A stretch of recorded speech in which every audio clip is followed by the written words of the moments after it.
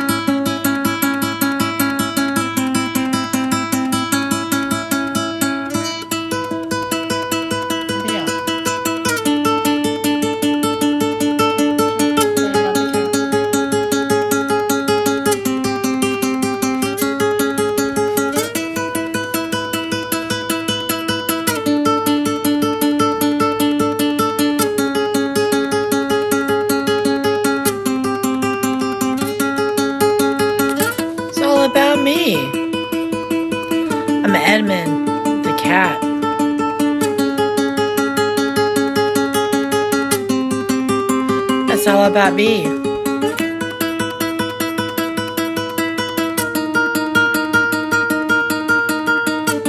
Like a white cat. 412 for the combo burrito.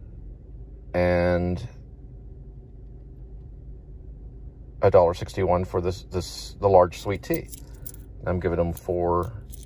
I mean, I'm sorry, five. I'm giving them five seventy-five. Five. So it's one, two, three, four, five.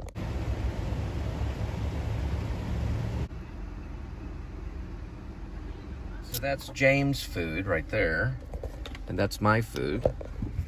And this is funny. Uh, let me go ahead and see what their combo burrito is like. It comes in this kind of thing right here. It's almost like a. So basically. All right. So we did get my favorite. Had to do something real quick. I had a little technical problems. So we got. Mmm, that was good. Good eating. Oh, yeah. All right, I'm going to Brooklyn Pizza to pick up the pizza and drop it off at your doorstep.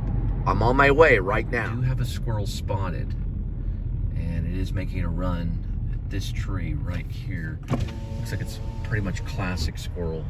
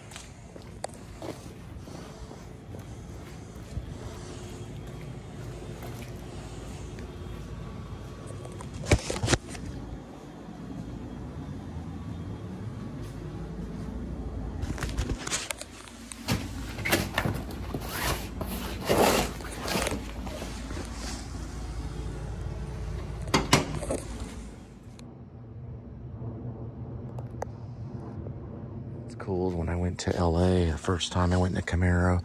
This is probably their class now, what they look like now. So my Camaro would have looked like this.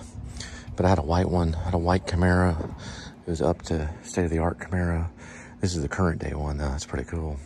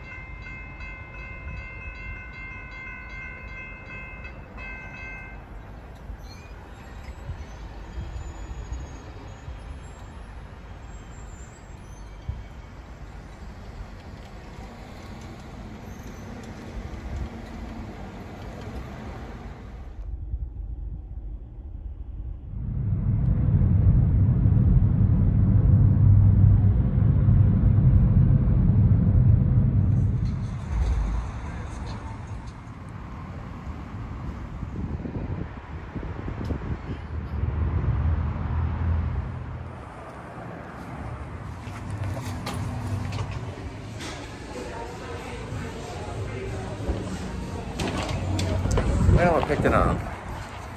And uh, you go drop it off at your uh, doorstep.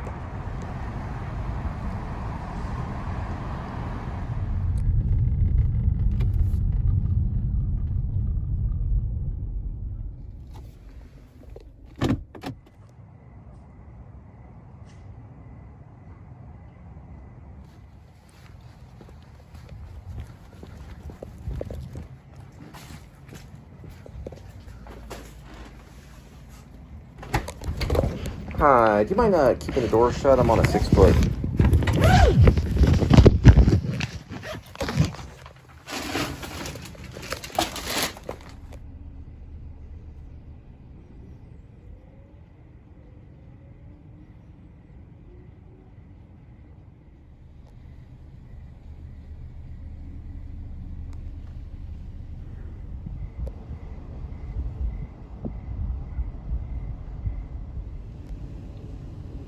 Oh, this is the new bridge, which I call the Trinity Boulevard. This is the new bridge, which I call the Trinity Boulevard Bridge. About right here. It's right by Trinity Boulevard. And they've pretty much got it going on. So it's pretty much ready to go. Just waiting for it to open. Looks like a good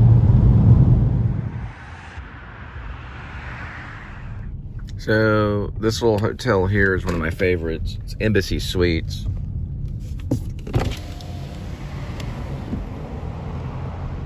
And it's right here. It's got a really cool atrium.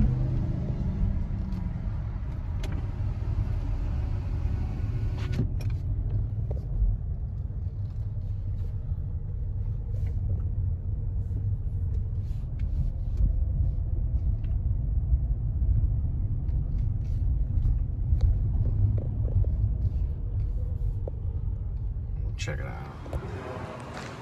Cowboys fan and Bears fan. He talking all over the place. That's what he do. It's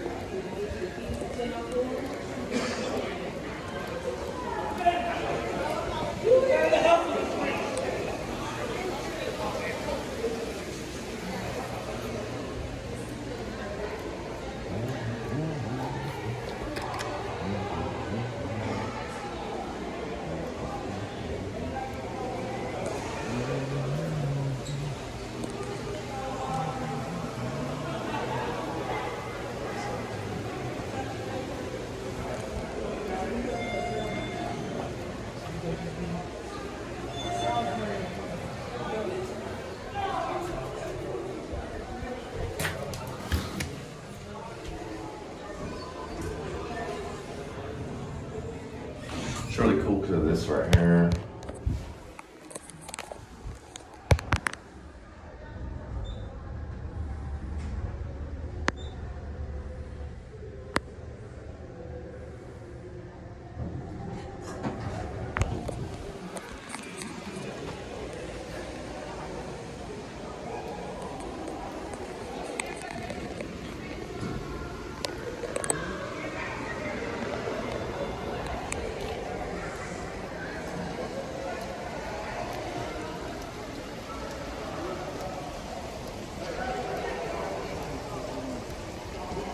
Hi, if you don't mind shutting the door, I'm on a six foot rule. Yeah, just shut the door. You'll have to shut the door to get the pizza.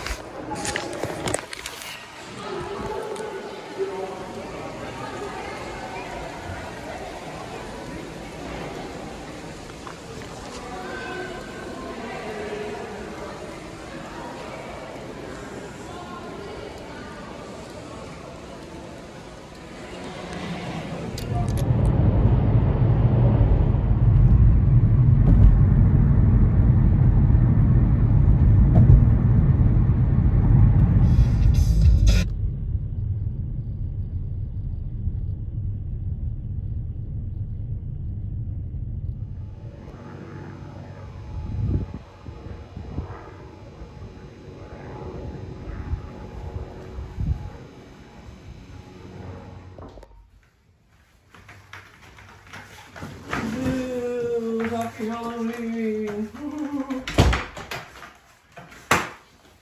Oh. Ewy gooey. Smells like brains.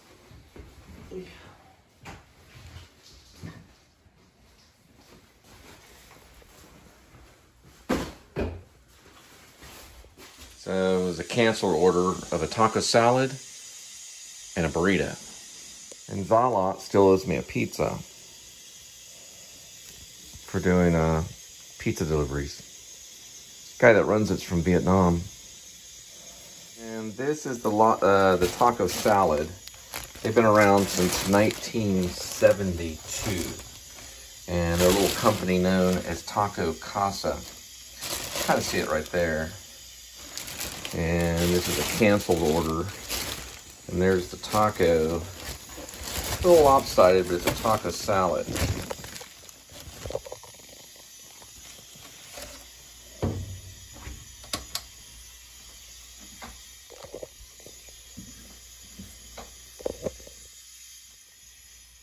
There we go. So there's the taco salad. I just wanted to show it this way. It's a little lopsided. It needs to be microwaved. There it is. And then part of the canceled order was a burrito too. So kind of imagine what that looks like. Hmm. These are actually really good burritos. I'm probably gonna have that one. You kind of see it. It's like a meat burrito. It's pretty good.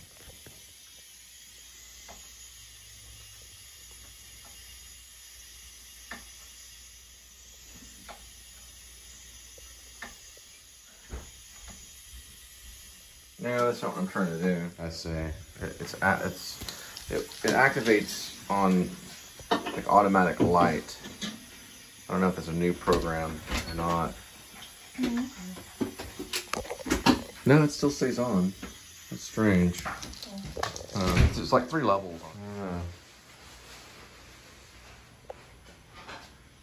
Uh, uh.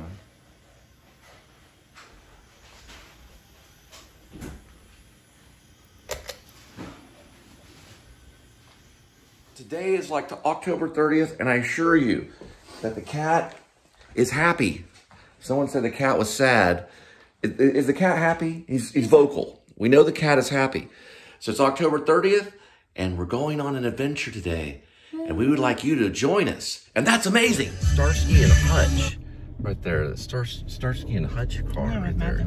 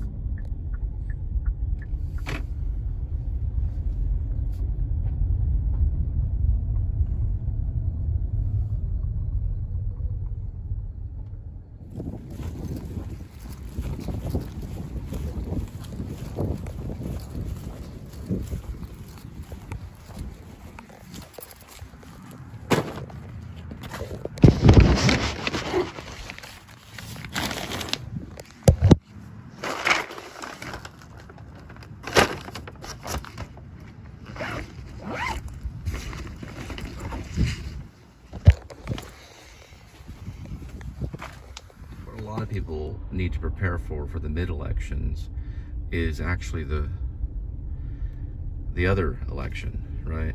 So the mid election, which is coming up here pretty soon, is going to be representative or it's going to represent what may go on in the real election, which is coming up in another two years, right? So we have to decide as a people what we're going to do. We can't be ambiguous. But I always say about ambiguity, and I always say this because I'm kind of a radical, but I always say ambiguity, I, I kind of have to say it there. You know, Moses had a problem speaking. But anyway, regardless, uh, I'm talking about Moses from the Bible. Ambiguity kills. Ambiguous kills because if you're going to make a right or left turn, you got to make a decision. Right? You have to either go right or you have to go left.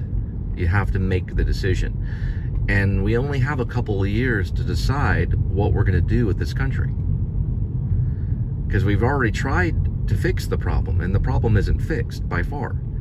The Democrats want big government, okay? And that can be very dangerous to our democracy.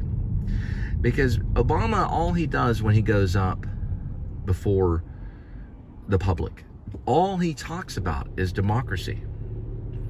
But he doesn't know what democracy means. I did vote for Obama, by the way. Democracy means little government, where the people rule. And the people are part of the private sector, unless, of course, you're a government official. Now, if you're a police officer or a public school teacher or a judge or something like that, then that means that you're going to depend on the government for the bread that's on your table. But if you're a private sector person, let's say you run Watermill Express, well, that's not run by the government, right? That's run by a private uh, sector, right? It's run by privacy, right? So you're going you're going to have to put your own bread on the table. And and that's kind of what Trump was was trying to say was you're going you're going to have to do it on your own. You know? And Obama was saying, "No, we'll do it for you." Because democracy rules, and that's not the case. I'm 100% sure that if Obama let's say his office remained in office, I'm 100% sure that we're not going to have free healthcare because we don't have free healthcare.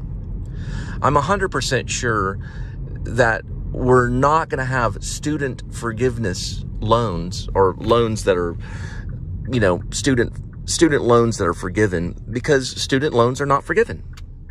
$20,000 is not forgiving a student loan. The guys that really need help, the students that need help, are the ones that are $100,000 in debt because of predatory lending. I don't know why people won't listen to me. But the government can be a part of predatory lending when the banks can't. The banks cannot be a part of predatory lending.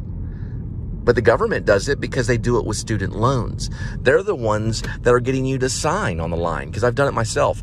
Uh, Sallie Mae, all that stuff was involved with the government and the government asking you to sign on the line. Farmers did it a long time ago and they lost everything. When the farmers were told by the government to sign on the line so they could have more control of farming.